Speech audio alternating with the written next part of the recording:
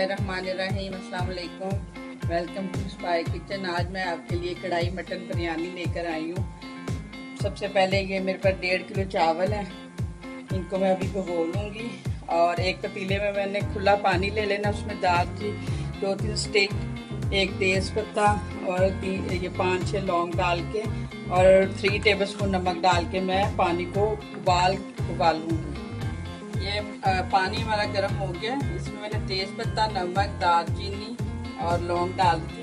یہ ہم ایک لیمو بھی ڈال دیں اس میں۔ اس سے ذرا چاول جو ہے نا، وہ بڑے کھلے کھلے پکتے ہیں۔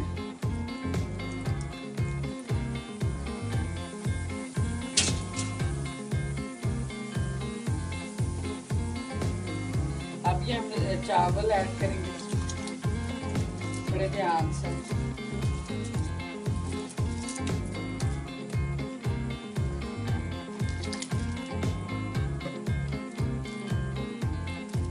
جو ڈیڑھ کلو چاول تھے اس کو میں نے ابھی بیس منٹ پہلے بھی دھویا تھا ایک دفعہ چمچ چلا دیں اور اس کو ہم ایک کرنی تک ابال لیں چاولوں کو ہمارے ابل گئے اب ہم اس کا پانی نچوڑ لیں گے چاولوں کو میں نے ابال کے چھان لیے یہ ہمارے پاس ایک کلو مٹن ہے اس کو میں نے ابال لیا اس میں آدھا کلو ٹماٹر جائیں گے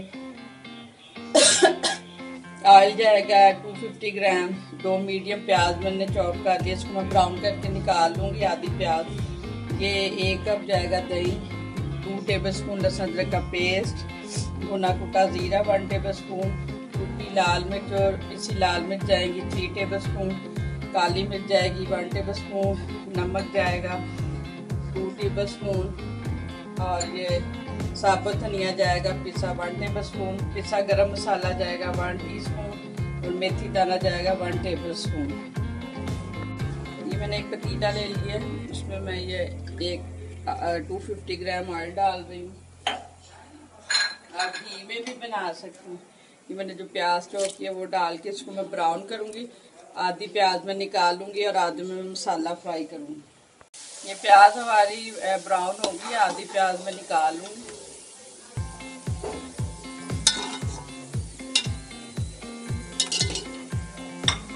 اس میں اب ہم اپنا لہسن کا پیسٹ ایڈ کریں گے۔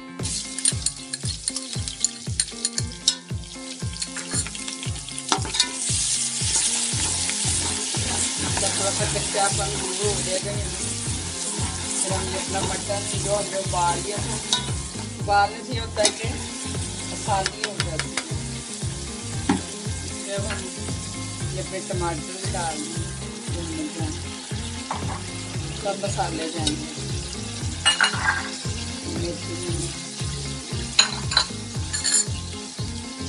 دھنیا بھنا کٹا زیرہ کالی مرچی اسپائس آپ اپنے حساب سے رکھ سکتے ہیں نمک مرچیں آپ اس کو تب تک ہونے گے جب تک ٹماٹر کا آئل اوپر نہ آ جائے۔ ٹماٹر کا پانی یہ ہمارے جو مٹن میں ہم نے مسالے ڈال کے وہ بھون گئے ہیں دیکھیں اب ہم اس میں یہ جو دہی ہے، ہماری ڈال دیں اب اسی طرح ہم دہی کا پانی بھی خشک کریں گے اس میں۔ یہ ہمارا مسالہ بھون گیا، جو ہم نے مٹن میں ایڈ کیا تھا، اب یہ گرم مسالہ پسا جائے گا اس میں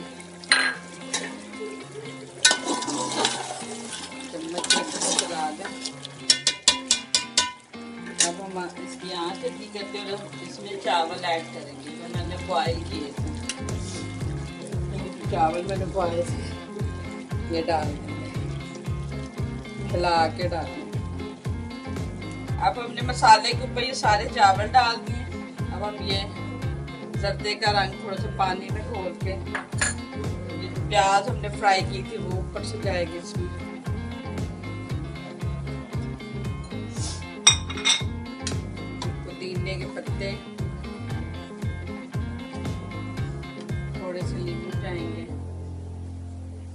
اور یہ ہری مرچیں جو ہم نے کاٹ پہلے میں اس کو پانچ منٹ تیز آنچ پہ رکھوں گی اور پھر اس کے بعد میں اس کی آنچ ہلکی کر دوں گی اور پندرہ منٹ ہم اس کو دام دیں گے۔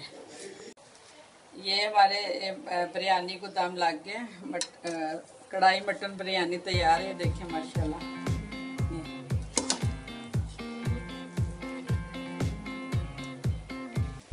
یہ ہماری کڑھائی مٹن بریانی تیار ہے۔ انشاءاللہ تعالیٰ آپ کو بہت پسند آئے گی۔ آپ اس کو ضرور ٹرائی کیجیے گا۔